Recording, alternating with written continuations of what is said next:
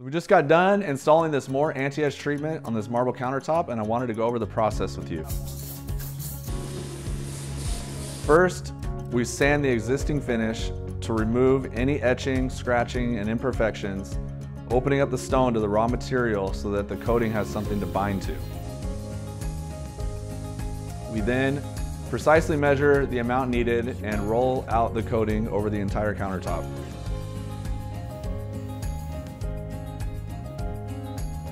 We let that level for about an hour. At that point, we use UV lights to cure and harden the countertop.